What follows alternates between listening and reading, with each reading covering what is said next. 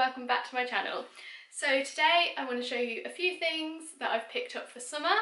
They're from Primark and ASOS and one thing from River Island. But a few things I'm going to send back but I'll let you know which ones they are because you know I don't 100% like them and your girl trying to save some coin. So yeah, let's start with Primark. So the first thing that I picked up was this denim skirt. It was £8 and literally there's not much to say, it's just a basic little skirt. I'm going to do some cutaways, so I'll show you how I would style this for summer. I then picked up this, which was £4. It's a little bodysuit. One second, I'm just doing the crop chop. Bear with. Ta-da! This is it here. A little mustard colour with stripes and it just goes like straight across which I'm starting to love at the moment, don't know why. Um, and I just thought this would look really cute with the skirt or with some shorties. Oh, it was £4. And the last thing that I picked up from Primark was some shoes. So I got these in the sale. They're originally supposed to be £12, but I got them for £5. Please let me know your thoughts. They're just white shoes, which I didn't think were too bad, like just for a pair of kick arounds, you know. Um, but Tom said they look like nurse shoes. Do they? What are your thoughts? Please let me know.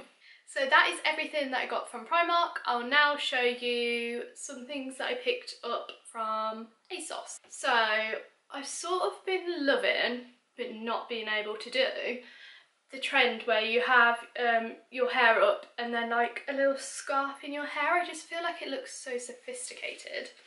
So I saw this scarf on ASOS, you know, like browsing through the sections and I was like, oh, I found the one. I found the perfect scarf.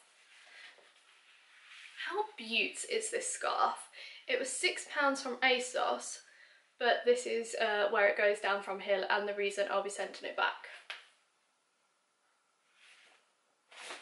Like, what am I going to do with that? When you wrap it up like that, you see the white bit, and I just think it looks awful. Like,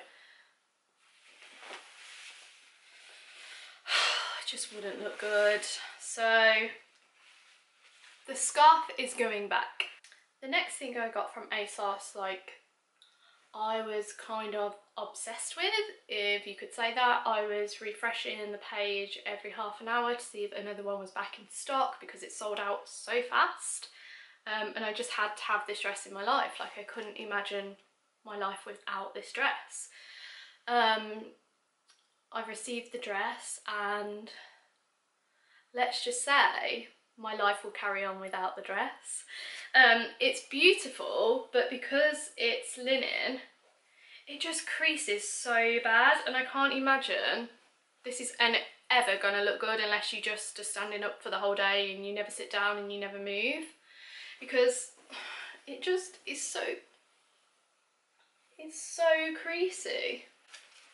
So this is the dress. Look how beautiful it is Again, I'll do a little, I'll do a cutaway of me wearing it, but you'll see, um, you'll see in the cutaway how creasy it gets.